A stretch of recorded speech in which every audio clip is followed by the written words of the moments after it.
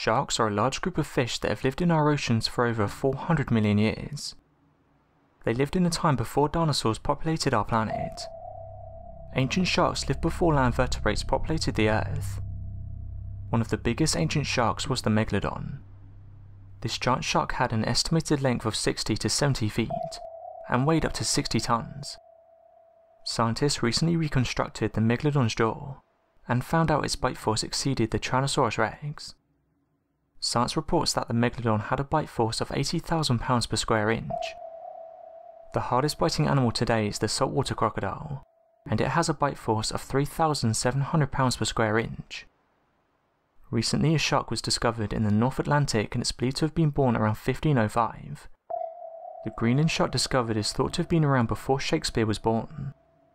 The Greenland shark is said to be one of the oldest living vertebrates to have ever been found.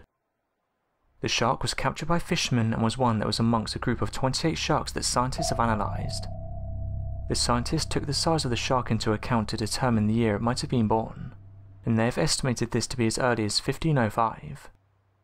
The Greenland species of shark is said to have a growth rate of just 1 centimeter per year, and the species is known for having a lifespan of hundreds of years. This particular shark was the oldest out of the entire group of sharks that have been analysed by scientists.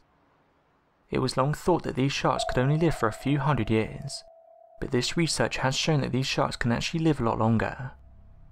The Greenland shark can be found in the northern Atlantic, the Greenland shark is one of few sharks that is actually larger than the great white. These sharks can reach up to 24 feet or 7.2 meters in length. These sharks are not commonly seen by humans, and they prefer to spend their time in cold waters of the North Atlantic around Iceland, Greenland and Canada. The average temperature where they live is around minus 1 degrees. However, during the summer months they will migrate to deeper in the water where it's very cold, and in the winter they will swim to the surface. Greenland sharks are apex predators that will eat almost anything. Typically, they eat seals and other small sharks, but they have also been known to eat land animals.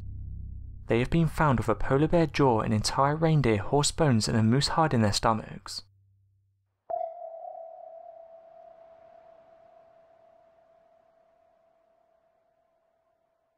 Thanks for watching and don't forget to subscribe for more videos.